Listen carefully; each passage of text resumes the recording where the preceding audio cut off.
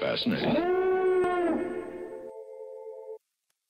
Hello there, and welcome to this quick overview of Blueprint function libraries.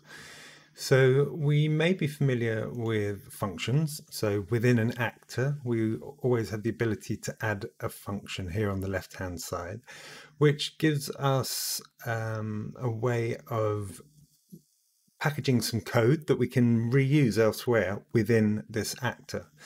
But then it's embedded in this actor and can't be used elsewhere. So that's not that flexible. So what we can do is start by creating a blueprint function library. So if we come to blueprints here on the left hand side and go to blueprint function library, I'll call mine demo BPFL, which is my shorthand, and open that up. So it looks like another sort of blueprint environment, but you'll note it doesn't have event begin play or event tick. It's just geared up for adding functions and then local variables that serve those functions.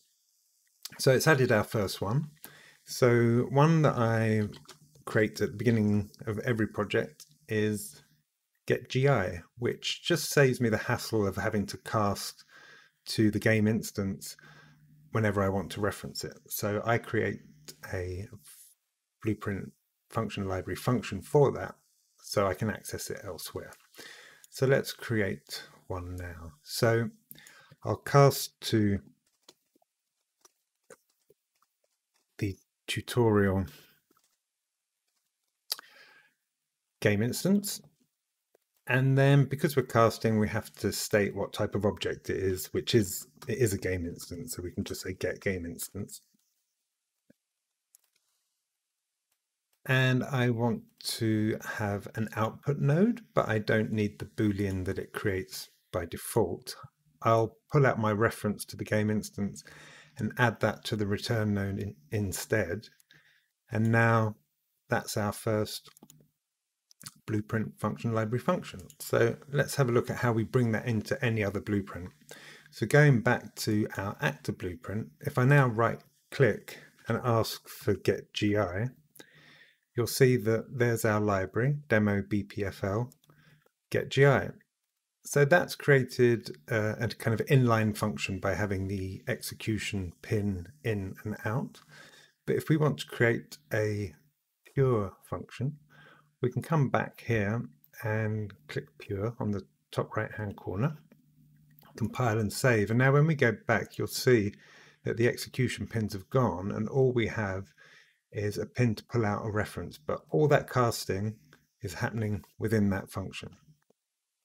So another one by extension that I use on many, many projects is I add a get PC as well for player controller because the player controller also houses a fair amount of functionality on a per player basis.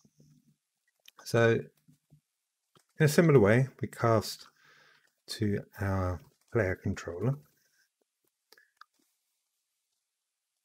And again, we have to just state that it is a player controller.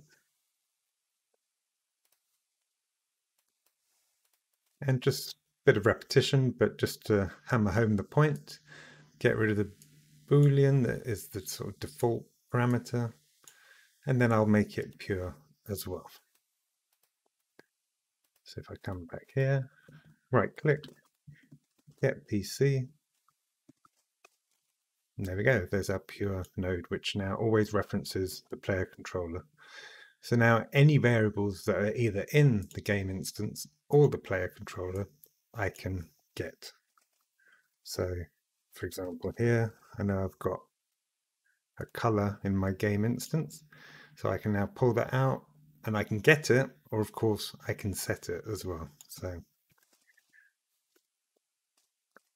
and I always put GI in front of my game instance variable so I know where they are.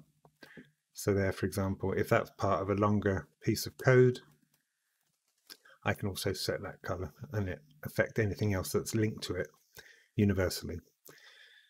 So another place where I sometimes use a blueprint function library function is when I am adding a bit of craft to the experience and I want to take control of the player pawn camera and fade in and out. So whether I'm switching between levels or, you know, if I've picked something up or if I'm wanting to launch a widget and I want to fade into that.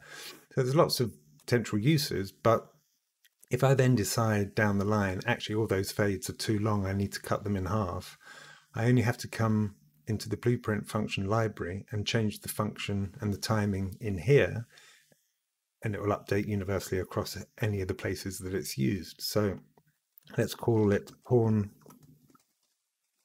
camera fade. So that requires player controller once again. And then from the player controller, we can then access the player camera manager which finds the camera in the pawn related to the controller. And we can say start fade, for example, start camera fade. So again, this is just a function. So now here I can say, all right, I want to fade from on screen to opaque. So from zero to one in the alpha range over three seconds. If I don't put anything in there, we won't see anything. Um, if you want a hard cut, then you wouldn't put duration, but then you would make sure that you clicked hold when finished. If hold when finished isn't clicked, then the fade will happen over a duration of three seconds, but it will flip back because we're not holding. So just a couple of kind of use cases. Obviously things can get a lot more complex, but just to familiarize yourself with blueprint function libraries and how liberating they are really, because now you kind of get the opportunity to use them all over your code. So hope that was of use. Live long and prosper.